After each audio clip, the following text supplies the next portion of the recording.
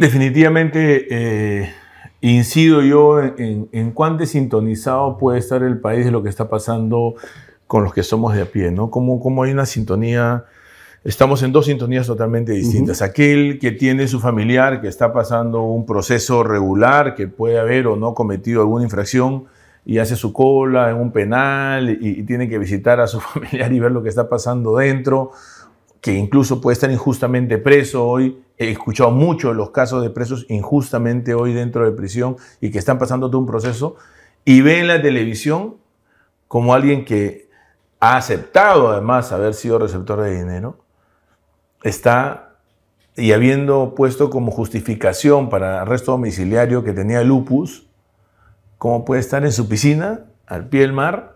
Este, eh, claramente alguien que tiene lupus no puede estar expuesto al sol porque tiene problemas con, el tema de rayos ultravioleta. ¿Cómo puede estar en su piscina tomando sol y relajándose?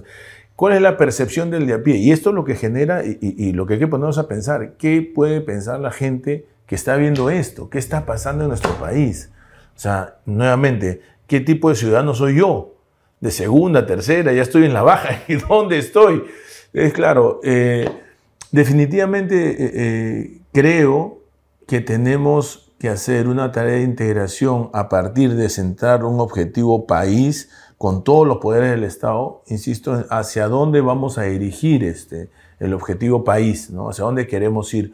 Claramente, no es solamente el único caso, ha salido también, me parece que en Panorama he visto el video de Fujimori en una cena el día de ayer, lo he visto en unas imágenes viendo noticias, donde está en, una, en, una, en un almuerzo en una casa en la planicie, desconectado, no tiene la zona, no tiene el balón con el que salió yo que Plaza. Entonces uno ve estas cosas y, y, y, el de a pie dice, ¿qué está pasando?